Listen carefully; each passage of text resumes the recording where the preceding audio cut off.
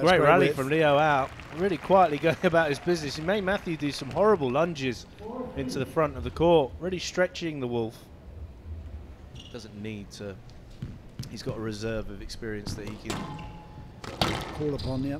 call upon and utilise. So it's not such a huge Yeah, issue he for him to said that play.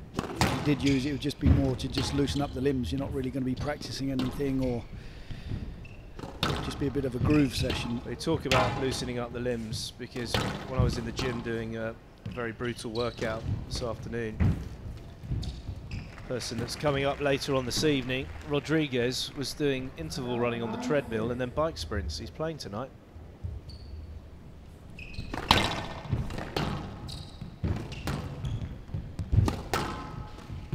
Oh.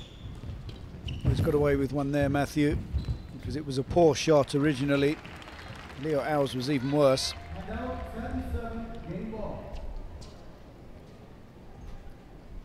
Taking no chances there with the forehand drop though, Matthew. There's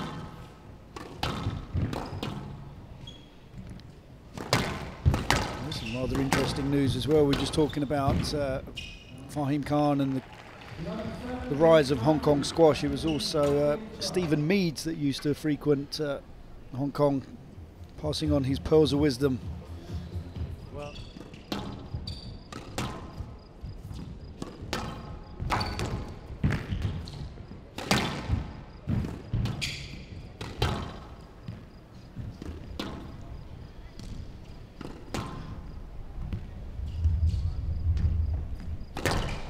Yeah, well that is a chop suey. You can't, you can't play a shot like that high on the front wall with uh, Nick Matthew pouncing on it.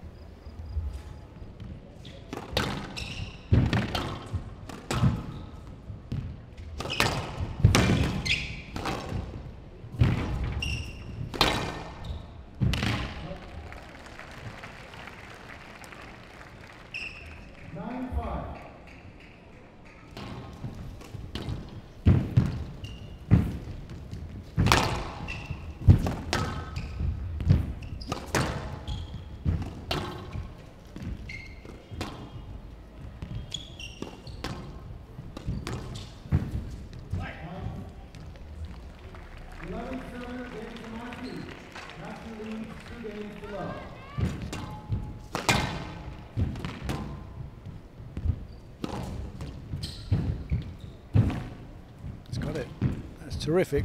It's Yeah, brilliant, from Leo Au because it was a, an amazing get really from Matthew. Didn't expect him to get that one back, and then just casually lobbing over the wolf who.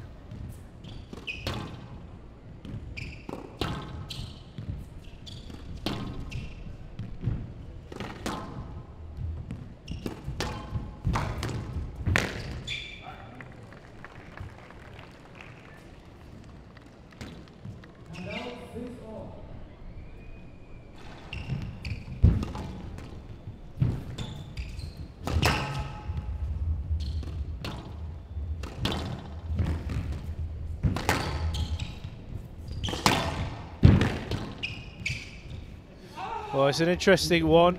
It was a terrific rally, but this could could be a no let. Going for a video decision. It's a video decision, PJ, on this one. I mean, it uh, didn't look like there was a huge amount of effort being made, which is sad because uh, Leo Au put in tremendous amounts of effort throughout the rally. Goodness me. It's a tight ball here. I think this could be a no let, you know. He stitched himself because he could have got this back probably, but he needed to make more effort. Well, he wasn't sure where to go, was he? But I think he did take the wrong line. And it is an no let. So Matthew closing out a very comprehensive masterclass. Well, I say masterclass, it was, say, a professional workman-like performance from Matthew, which you'd expect in such a crucial tournament as this. 46 minutes, Matthew gets through unscathed against Leo Au of Hong Kong. Three games to love.